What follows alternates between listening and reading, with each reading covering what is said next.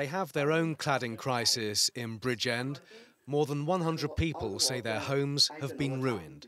But if you touch it, you're going right through. Julie, what's it like living like this? Terrible. Sorry if I get upset, but it's depressing. You're trying to live in a pauper's house.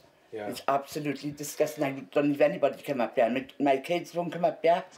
Well, you can see the, uh, where it's protruding here. People in Caerau say a council backed scheme to insulate and clad was shoddy, and that's putting it mildly. I am 78 now and I've always voted Labour. I've changed my mind because of what they've done in, into the valley. They've completely ignored the people of the valleys. We're non existent as far as they're concerned. In a statement, Bridgend County Borough Council said most of the problem properties were part of a central government scheme, not the council one. It continued, Bridgend County Borough Council is firmly focused upon putting the situation right and has made a £3.5 million commitment to ensure they will be able to benefit. Once upon a time, Labour had a red wall in Scotland.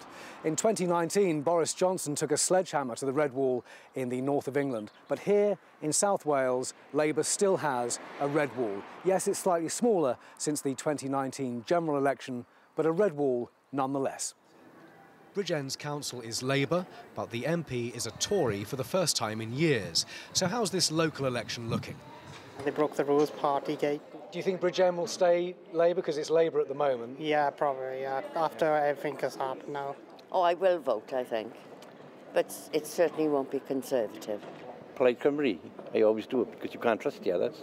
I will stick with who I usually vote for. May I ask who that is? No. Businessman Philip McCardle supplies the catering trade and he's sticking with Labour. Well, I wasn't surprised when uh, uh, Bridgend voted a Conservative in. Uh, but I don't think at the moment, I think the, the, the national politics and what's going on in, in will have a play, play a part. And of course, with local elections, it's how you uh, get the vote out. Does the blue candidate stand at any oh, chance? no, you've got no chance at all. I thought I would ask, just in case. If, if, I, if I voted for the blue, my father would turn over in his grave. I believe you me. Believe you me, no. Ritchie is voting for an independent at the election. Yes, loyalties are shifting, but the instincts for many remain tribal. Simon Vigar, 5 News, Bridgend.